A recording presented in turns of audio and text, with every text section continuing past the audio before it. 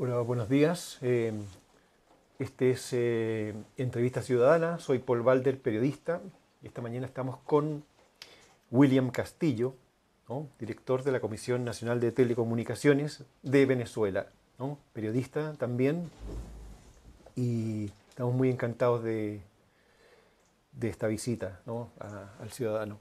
Bueno, muchísimas eh, gracias. Gracias por la invitación y bueno, también encantado de estar aquí en Santiago de Chile, en Chile, que también fue, la, fue el hogar de Andrés Bello, ¿no? Y en el Día del Periodista, ¿no? Mis felicitaciones también a los periodistas chilenos. William, queremos hablar eh, esta mañana un poco de la situación de Venezuela, digamos, de la, imagen que tiene Venezuela dentro del, resto de, Sudamérica y en el mundo, eh, de la función que tienen los grandes medios de comunicación en eso, en esta, en esta imagen. ¿no? Y quisiéramos conversar contigo para que nos vayas contando un poco cuál es, es tu visión y en qué medida esa, esa imagen eh, se sostiene en una verdad y en qué medida hay una manipulación por parte de los medios de comunicación. Ahora, desde una, una mirada así que bastante, desde el cono sur, digamos, eh, en que esa, esa mirada en general está alimentada mucho por los, grandes medios de comunicación, impresos, eh, audiovisuales, ¿no? la idea es que en Venezuela, si no hay un caos, hay una situación difícil, ¿no? que eh, hay una situación difícil que no solamente es, política, sino que hay un problema social, de un cierto desorden en, las urbes, en las calles, de gente protestando, y un problema económico, un problema económico que afecta eh, a las personas, a la vida cotidiana de las personas. Eh, con desabastecimiento, de que es un problema que aquí lo conocimos hace más de 40 años durante el proceso de la Unidad Popular de Salvador Allende. Em, en, este, en este sentido, eh, ¿qué tan cierto, digamos, eh, es esa, ese escenario, digamos, que se está difundiendo y que nosotros vemos a través de los medios de comunicación? Sí, bueno, hay varios elementos que hay que destacar, ¿no? El primero es que Venezuela está viviendo un proceso de revolución, de revolución política, de revolución económica y revolución cultural desde hace 16, 17 años. Es un proyecto político que es explícito, es conocido, eh, tiene como fin instaurar un socialismo, como se intentó aquí hace más de 40 años, por la vía democrática, eh, que significa este, poner el acento del Estado en lo social, en la recuperación de los derechos sociales. Venezuela ha vivido durante casi un siglo un proceso de saqueo de sus industrias básicas, de su petróleo, de su riqueza. Eh, los sectores privados venezolanos acumulan más de 300 mil millones de dólares en activos en el extranjero, todo producto del petróleo. Y este proyecto popular, social, pero pacífico, democrático, bueno, está enfrentando en estos momentos, ha enfrentado una, una serie de crisis en estos 16, 17 años, pero atraviesa hoy un momento particular, ¿no? Hay una combinación de factores. En primer lugar, hay una combinación de crisis económica mundial, caída de los precios del petróleo, que es el principal activo, digamos, la principal industria que provee las divisas a la economía venezolana, ha caído en 70%, en más de 70% entre el 2015 y 2016. Eh, hay que ver el impacto que eso ha tenido, es un impacto brutal sobre las finanzas públicas. Eso ha disminuido significativamente la disponibilidad de recursos, de divisas para importaciones. Venezuela es un país que eh, importa una buena parte de, las cosas que consume, fundamentalmente insumos para la industria y materia prima para alimentos y medicina. Entonces, la combinación de ese problema coyuntural que es mundial, que ha afectado a Venezuela, se ha unido a un proceso que nosotros no dudamos en calificar de un proceso de desestabilización política y económica por la vía del acaparamiento de productos, de esconderle los productos, el contrabando de extracción que se está llevando entre 30 y 40% de todos los alimentos y medicina de Venezuela hacia Colombia, hacia Trinidad, hacia las islas del Caribe a través de distintas mafias y grupos organizados, la participación de grupos empresarios también en este sistema mafioso de, especular con los alimentos eh, y la participación política también de actores políticos que han avalado esto. Nosotros creemos que hay una combinación de factores, no negamos que en Venezuela hay problemas, hay problemas puntuales ha habido en este último año problemas puntuales de desabastecimiento de algunos productos que se han subsanado por, por la labor del Estado, por la imposición de, de modelos de distribución popular, por cierto, muy parecidos a la HAP en, los años 70, en los comienzos de los 70 en Chile, y que el Estado ha respondido con, su política social. Entonces hay una combinación de problemas. El gran, el gran tema, eh, Paul, es que eso se expresa en los medios como si en Venezuela existiera una crisis humanitaria, y nosotros negamos rotundamente. Hay una visión de Venezuela de que Venezuela, bueno, no hay alimentos, no hay medicina. Mira, Venezuela hoy, lo ha dicho la FAO, 97% de la población come tres veces o más. Eh, la talla promedio, la talla y, el, peso de los niños venezolanos ha aumentado producto de las políticas nutricionales y alimentarias de estos 16 años de revolución. Por supuesto que mediáticamente eso se en que hay colas en algunos centros urbanos, en, durante varios meses ha habido situaciones de desabastecimiento, una vez un producto, otra vez otro producto, pero se construye sobre eso una imagen mediática que tiende a venderle al mundo una imagen falsificada y manipulada de la situación económica y de la situación social. Entonces, eh, un poco lo que estamos tratando de hacer con estas visitas a los medios y con este despliegue en varios países de América Latina es llevar lo que nosotros consideramos la verdad de Venezuela, es decir, eh, contarles la otra versión que la gran prensa nos está contando sobre Venezuela. Pero lo que, lo que usted me quiere decir, William, es que existen problemas puntuales solamente, que no hay una, una, situación de crisis, ¿no? de crisis, de que una persona se levanta en la mañana y sabe que, no, que tiene que, que comprar una serie de, de insumos para, para, para vivir, ¿no? y que no los tiene, que no los encuentra en el almacén del barrio ni en el supermercado. Esa es una realidad o no es una realidad. Eso está pasando, pero no tiene la dimensión ni la magnitud que los medios presentan. Por eso te digo, sobre Venezuela se están realizando dos grandes operaciones comunicacionales y esas operaciones están dirigidas por grandes empresas transnacionales. En Estados Unidos está Wall Street Journal, está CNN, en España está el grupo El País, el grupo ABC, en Chile el Mercurio, en, Argentina Clarín, en, Brasil Globo. Es decir, hay una confabulación de una estructura comunicacional internacional que hace dos cosas. Exagera, manipula y falsifica incluso realidades venezolanas y por otra parte invisibiliza cosas que están sucediendo los programas alimentarios, los programas de vivienda, los programas de pensiones que se están haciendo en Venezuela. Venezuela tiene 3 millones de pensionados, tenemos un sistema de pensiones universal, gratuito, abierto, no está privatizado. Nadie, nadie le quita sus pensiones a los venezolanos. Cuando Chávez llegó al poder en el 98 había 300 mil pensionados en Venezuela, hoy hay 3 millones de pensionados. Tenemos el 90% de la educación es gratuita en Venezuela. También hay universidades y escuelas privadas, pero el 90% de los venezolanos no paga por estudiar, ni tiene un crédito de 30 mil dólares cuando se gradúa para, para hipotecar su futuro profesional. En Venezuela la salud es también 80% gratuita.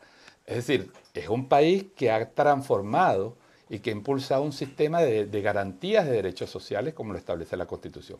Pero efectivamente, producto, como te digo, de varias circunstancias, crisis económica derivada de caídas de, de los commodities, de los precios de las materias primas e incremento de una estrategia de desestabilización, se han producido situaciones y efectivamente hay gente que le ha costado, no es que no lo consigue, le cuesta. Pero en, esa, en, ese juego de, imaginarios, en ese juego de, imágenes falsas y verdaderas, este, pues por supuesto se mezclan elementos de realidad, pero tiene el objetivo de presentar al mundo como si Venezuela estuviera en caos. Venezuela no está en caos, Venezuela es un país en paz que está superando y está luchando con sus problemas y que seguramente los va a superar, como muchos países lo hacen y que atraviesan también momentos difíciles. En Venezuela se habla mucho sobre el proceso revolucionario. ¿no? Es, eh, en, ese, en ese sentido, frente a esta situación que es compleja, digamos, frente a esta ofensiva de parte, digamos, de todas las eh, empresas, grandes empresas internacionales, de, potencias eh, como Estados Unidos, como los países eh, de la Unión Europea, en contra del proceso revolucionario, hay como una percepción de que esto se, ha estancado, el proceso bolivariano. ¿Cuáles son los horizontes para profundizar este proceso? Para frenarlo? ¿Cuáles son las, digamos, las propuestas que tiene en este momento el, gobierno de Nicolás Maduro? Sí, fíjate, es muy, interesante esa pregunta, porque parte de la construcción de ese imaginario y de ese expediente mediático internacional es decir que la revolución bolivariana se acabó con la desaparición física de Chávez. Chávez estuvo sometido a esta campaña internacional desde que irrumpió en 1992 en la escena política. Eh, fue satanizado, fue descalificado, fue calificado de loco. Y, ese hombre que construyó en 20 años de vida política activa, construyó la UNASUR, eh, construyó la CELAC, construyó los mecanismos de integración que hoy están vigentes en América Latina, impulsó una nueva relación de iguales entre, entre los países de América Latina, puso a pensar a América Latina en la integración entre nosotros de la integración en los grandes bloques por decir una sola de las cosas que hizo, internamente también desarrolló, como te digo, un gran proceso de redistribución de la riqueza y de profundización de los derechos sociales. Entonces, cuando desaparece Chávez, que además era un gran líder internacional y un gran comunicador, y parte de estas campañas se estrellaban contra la personalidad de Chávez, eh, bueno, la derecha internacional ve la oportunidad de acabar con la revolución bolivariana y eso que se le había aplicado a Chávez se profundiza y se multiplica. De manera que los ataques que sufre Venezuela desde hace tres años son mucho más inclementes y más duros que los que recibió Chávez. Entonces se vende la idea de que la revolución bolivariana se estancó o en todo caso que traicionó a Chávez. ¿no? Una de las cosas que se dice, bueno, Maduro no es Chávez, Maduro traicionó a Chávez, Maduro está haciendo cosas que Chávez no haría. Mira, eh, Venezuela tiene, por ejemplo, el programa de vivienda más importante que se de vivienda social, más importante que se esté haciendo en el mundo. Vamos a construir, eh, lo estamos construyendo desde hace tres años, el programa de vivienda para hacer 6 millones de viviendas, pero viviendas dignas. Ah, cerramos el año pasado con un millón, este año vamos a cerrar con un millón y medio de viviendas, de viviendas sociales que no hipotecan a nadie, que son propiedad de la gente. Es un gran programa de transferencia de propiedad a los ciudadanos más humildes. Y eso no se ha parado. La educación pública no parado. La educación, eh, la salud pública, los programas sociales, las pensiones, las pensiones están atadas al salario mínimo. Entonces, cuando aumenta el salario mínimo, aumenta la pensión automáticamente. Es decir, Venezuela sigue desarrollando, en medio de un, cuadro de escasez y de agresiones, sigue desarrollando su política social. También es que la, visión hacia afuera de que la revolución está estancada, ¿no? La revolución está atravesando, como toda revolución, una gran conflagración, una gran una confrontación con poderes muy grandes, muy extensos en el mundo y está luchando. La coyuntura económica no nos favorece en este momento, pero la revolución bolivariana, te puedo asegurar, está de pie, el pueblo venezolano está resistiendo y no tenemos la menor duda de que va a vencer. Claro, eso pregunto, o sea, si ha bajado tanto el precio del petróleo, ¿no? un 70%, eh, tienen que haber desarmado muchos programas sociales. O sea, no, se han ralentizado algunas inversiones, porque Venezuela, por ejemplo, está haciendo el sistema, está reconstruyendo su sistema ferroviario eh, con inversiones millonarias y bueno, quizás algunas obras públicas este, se han dejado de dedicar recursos pues, a, algunas obras públicas para sostener los programas sociales. También se ha reducido la entrega de divisas al sector privado, porque algo que la gente no sabe es que en Venezuela, por el sistema eh, cambiario que tenemos, las divisas para las importaciones privadas las entrega el gobierno. Entonces, por supuesto, al reducirse el volumen de esas entregas de forma significativa, evidentemente ha habido problemas para reponer inventarios de algunas materias primas y eso también ha impactado. nosotros no decimos que el, impacto de la crisis económica tiene un efecto sobre el, tejido industrial, sobre el tejido económico y eso se ha, se ha desplazado a los consumidores. Pero decimos también que 40, entre 30 y 40% de todos los productos que se producen son desviados y eso son estructuras mafiosas donde participa incluso y se ha determinado la participación de grupos paramilitares infiltrados de Colombia. se hay una manipulación en la frontera con el tema en, Colombia. Entonces, eh, esa construcción, como te digo, que combina realidades económicas y crisis económicas con manipulaciones reales de los procesos productivos y explosión mediática, es lo que genera esto. Pero decir que por eso la revolución bolivariana ha fracasado, que la revolución bolivariana está herida de muerte y no se va a recuperar, o peor, que la respuesta del gobierno hace una respuesta represiva y entonces se han cercenado los derechos humanos y que los venezolanos no pueden protestar. En Venezuela se protesta, todos los días, algunos contra el gobierno, otros contra la oposición, pero se protesta abiertamente todos los días.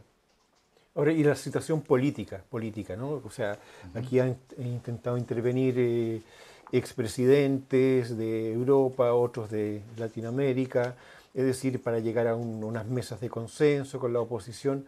Eh, ¿Cómo se mantiene ese, ese equilibrio eh, precario, podríamos decir, ¿no? de, la política de, cada día, ¿no? de ir ganando espacios, de ir perdiendo espacios?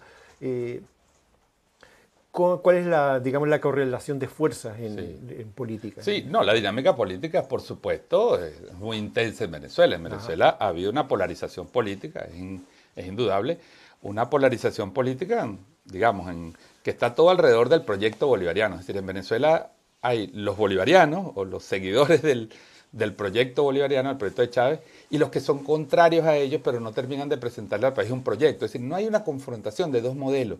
Hay un modelo y los enemigos de ese modelo. Y eso es una cosa peligrosa porque no se le presenta al pueblo venezolano una alternativa. Para hacerte concreto con la, con la respuesta, en diciembre pasado, eh, de 20 procesos electorales, en 16 años la oposición ganó su segundo proceso electoral. Fue una victoria importante, con una mayoría calificada en la Asamblea Nacional, y a partir de ahí se ha generado una estrategia cuando tú decías, bueno, el hecho de que un poder público esté en manos de un sector de la sociedad y el Ejecutivo esté en manos de otro, podría dar lugar a un diálogo para como, como una nación unida superemos los problemas. Lo que ha hecho la derecha es amplificar la, la, oposición, amplificar, digamos, la desestabilización, usando un modelo que ya ha sido aplicado en Honduras, con Celaya, en Paraguay, con Lugo, se acaba de aplicar a Dilma Rousseff en Brasil, que es utilizar los parlamentos para deslegitimar al Ejecutivo, plantear una crisis de poderes y llevar al mundo eso como una crisis eh, terminal de la democracia y propiciar formas de intervención como pudiera ser una aplicación de la Carta Democrática Interamericana o una intervención de una fuerza humanitaria para resolver el problema. Entonces, eh, lamentablemente, lo que era una circunstancia para hacer un diálogo político, constructivo donde el Ejecutivo reconociera los problemas y el Legislativo pudiera legislar para resolver los problemas, se ha terminado convirtiendo por vía de esta estrategia en una confrontación.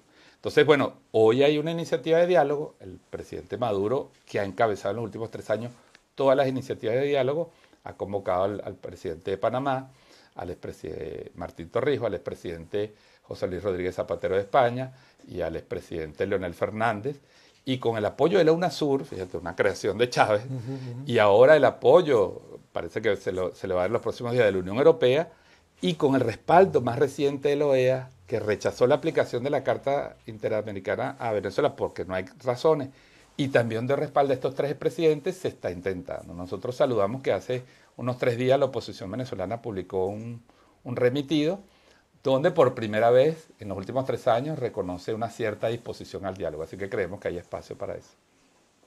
Perfecto. Eh, bueno, se nos va el tiempo, William. Eh, encantado de haberte tenido acá, de haberte escuchado. Y nuestra fuerza, nuestra, nuestro apoyo por el proceso que se está viviendo. Y muchas gracias. Bueno, agradezco mucho al periódico El Ciudadano esta oportunidad de dirigirnos a, su amplia audiencia. Entendemos que tienen un impacto muy importante en las redes sociales en Chile. Este, somos amantes de Chile, como lo fue Andrés Bello. Somos amantes de su literatura, de su política, de sus grandes hombres como Salvador Allende, de sus grandes escritores como, como Neruda, como Gabriela Mistral. Somos admiradores de Chile, ¿no? No nos va muy bien en el fútbol con Chile, pero en el resto de las cosas nos ve muy bien y somos muy amigos de Chile, estamos muy contentos de estar aquí. Muchas gracias. Gracias a ti. Muy bien, eh, esto ha sido Entrevista Ciudadana, Paul Valder, periodista, junto a William Castillo. Buenos días.